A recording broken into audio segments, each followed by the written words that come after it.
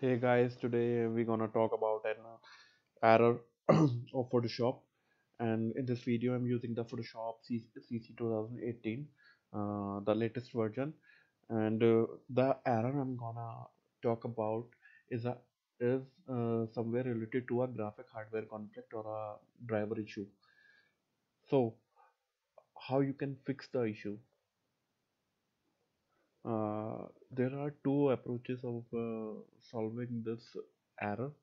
And in the first one you have to launch Photoshop. Just launch Photoshop and wait for a few minutes.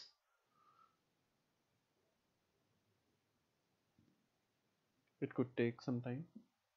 Okay okay now Photoshop is launched.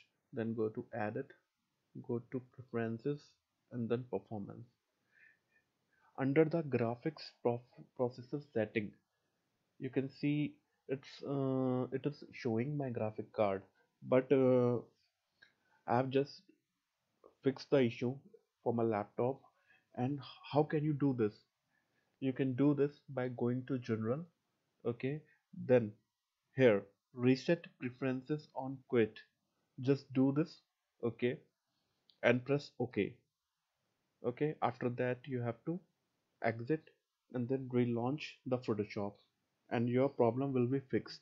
And the second approach is by uh, NVIDIA control panel. Just launch your NVIDIA control panel or just whatever is your AMD or the other providers related software.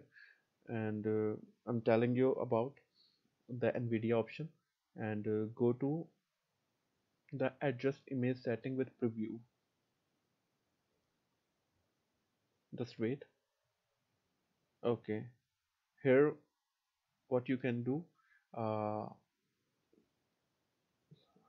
oh sorry just go to manage 3d settings then go to program settings okay?